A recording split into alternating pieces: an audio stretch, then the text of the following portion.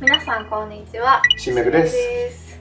さあ新メグの部屋11回ということで、はい。今日はちょっとちょっとセンシティブなお話をしたいと思います。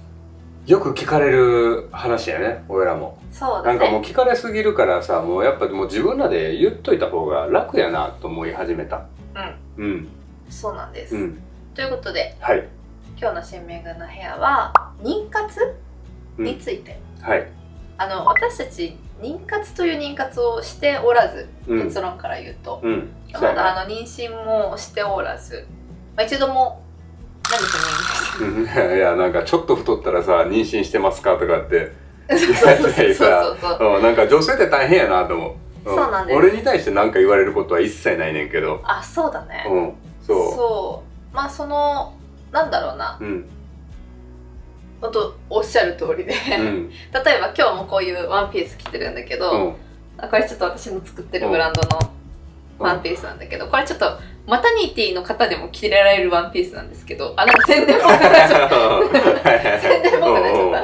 そうそうそう。PR 始まっ臨た臨月まで行ってなければ着られるようなちょっとゆとりのあるワンピースなんですけど、うん。こういうワンピースを着て写真撮ってインスタに載せたりとかはい。YouTube で写ってたりとか、うん。あとちょっとなんかやっぱむくみとかもねひどいので私、うん。日によって全然こうコンディションが違うんですけど体の、うん。ちょっとなんか前見た時よりあれ？めぐみ太ってるぞ。イコール妊娠したんですか？って聞かれるのがうん。こうあんまりこう好きではないかなって思っていて、まあ妊娠してない人はそれはそうなんじゃないの？うん。だって妊娠してへんねんからさ妊娠してないのに妊娠しましたか？してるんじゃないんですか？とか断定で来られてもさやっぱ困るんちゃうかな困るし、そう。で仮にそれで妊娠しましたか？って聞かれたところで、そこで妊娠しましたって答えないんだよ。仮にしてても。私が仮に今妊娠したとしても、うん。まあ、どのタイミングでこう公表するかも全然決めてないというか、うん。もしかしたら生まれた後に言うかもしれないし、うんまあ、妊娠中に言うかもしれないし。うん。わかんないそれはね。うん。わかんないけど確実にそれを聞いてきてくる。聞いてくる人に対して返事をして妊娠してますも言わないしイエスノーはね多分。うん。ノーは言うけどイエスは言わないうんし、そうん、っていうのもあって、うん。でこれは本当にもう数年前からちょっと表に出るようになって深夜と結婚してから言われるようになってその頃からすごいもうねラジオでも物申してる案件なんですけど、いあそうなんや。はい。ラジオで物申してた。はい、だいぶ物申してるんですけど、うん結婚したからうん。はい次はすぐ子供っていう考えを持ってる人も多いと思うし。まあその考え持ってる人多いやろうね。で私たちは全然今子供は絶対いらないですって思ってるわけでもないし、うん。はい。うん。私は自然の成り行きなので、妊活をしてるわけでもしてないわけでもないっていうかなんていうの？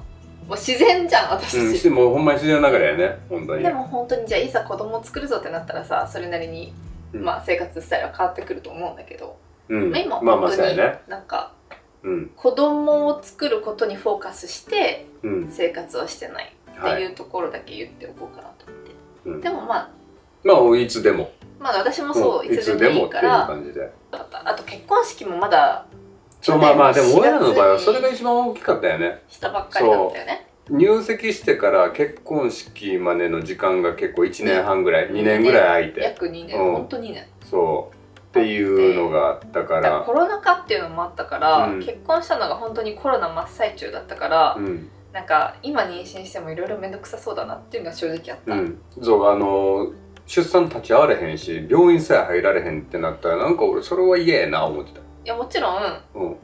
そうもしその時に妊娠していたら全然喜んででそれはそれでいいねんそうけど。そういいんだけど、うん。コロナ禍真っ最中によしじゃあ妊活するぞっていう気にはならなかったんだよね、うん。私たちの場合はっていう、それはね本当それはもう本当にいろんなカップルご夫婦がいる中だから、うん。何が正しいとか全くないから、うん。ただ私たちの場合はそんなこんなで、うん。まあ新婚旅行とかもまず行きたいし一緒に海外もたくさん行きたいし、そうまあ結婚式もしてないし、うん。みたいな感じでね。っていう感じでまあ何が言いたいかっていうと、うん。まあなんかたまに YouTube のコメントでも「そろそろ子供作ったらどうですか?」とか「お子さんまだ考えてないんですか?」とか「旅行ばっかりしてないでそろそろ子供みたいな コメント来るんですけうん。どほっとけ。はい。うん。私たち別のに別にそんなんええやん。ほんと。ほっとけほっとけ。ここはほっとけです。すいません。もしかしたらすごいポジティブな意味でこう聞いてきてくれてるのかもしれないけど今の時代ちょっとそれを聞くのは時代錯誤というか。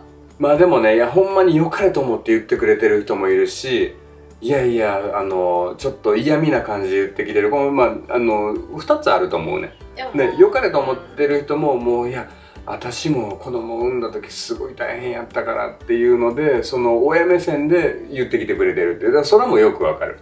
うんであのーなんか嫌味っぽく言ってきてるところもあるしうんそれはそれでもわかるし、うん、もうそそっち側に関してはあどもうごめんやけどどうでもいいっていう感じでで親目線で言ってくれるところはあそうなんやなっていうのであのーめっちゃよくだんだんだんだん理解はしていってます。その大事さ。親しい人以外に言われるのが嫌だってこと、うーん。全然そのなんか関係ないのに子供早く産んだ方がいいですよとか知らない人に言われてもうん。正直って感じで友達とかうん。あとはもうほんと人生経験積んでるちょっと上のお姉さん先輩とかに言われたりとかするのは、あなんかその知り合いでね、うん。友達とか親しくしてうん。て言われる、そういう話をするのは全然私はありなんだけど、やっぱりこう SNS とかそんな話をする関係性だったっけ？っていうところに言われたりするのは正直嫌だし、うん。男性に言われるのはもっと嫌だ男性に言われるとかある？いや深夜の友達は結構言われる。俺の友達に？うん。なんて？え子供まだなって？子供考えてないとか。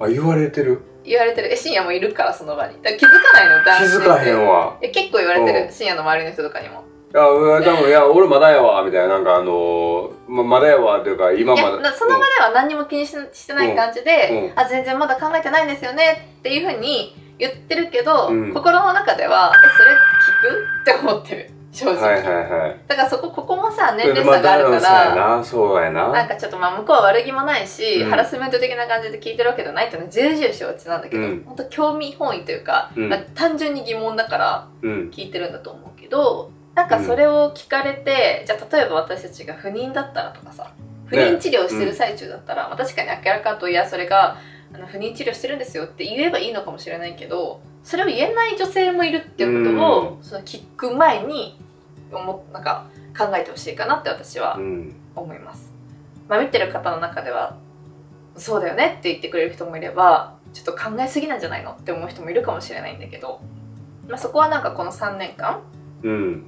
もっとかだって深夜と結婚した時だっていや結婚した理由どうせで既婚だろうとか言ってきたような人とかもいたし はいはい。なんかその、なんだろうな妊娠とか子供っていうのをなんかちょっと揶揄する感じも嫌だしうん。そうなんかねいろいろ思うことはあるのでまあ進展あったら報告するのでちょっと 少々お待ちを。見守っててくれると嬉しいなってう。いうんところです、はい。まあだからそこに関してはほんまに男女差っていうのがあるよね。男女差もあるし年齢差もあるし、うん。やっぱりいろいろあると思うそれもやっぱり価値観の違いだから、うん聞かれてまあ本当になんだろうな結婚してすぐ妊娠して出産してっていうのが普通だったうん。時代もあったわけだし、うん。まあに結婚イコール次は妊娠出産でもうつなげやすいというかそれはわかるんだけど、うん今はあえて子供を持たない選択をするカップルもいるし、うん。なんかそういういろんなこう背景を考えながら あの質問してもらえるとだから質問してもらえるとというか、なんかこの話題っていうのはさあのーいろいろなんか矛盾も生じてくるし面倒くさいなと思うのがあんねやんか。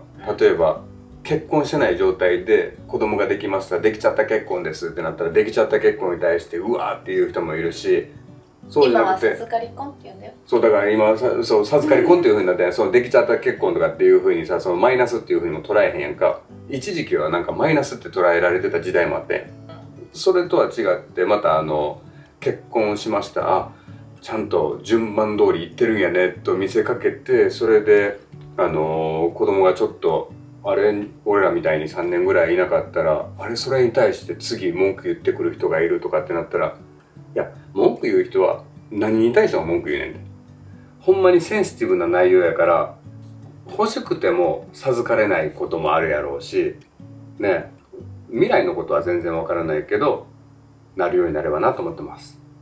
まあ私たちのことは置いておいて、はい。そういう妊娠したの？とか子供まだっていう質問は考えてからしましょうということを言いたかった動画です。はい。ということで今回ちょっとセンシティブ内容になったんですけど、はい、まあ、いろんな意見があると思うのでぜひ皆さんコメント欄で教えてください以上しむくでした。じゃあね。バイバイ。皆さんチャンネル登録といいねよろしくお願いします。じゃあね。バイバイ。バイバイ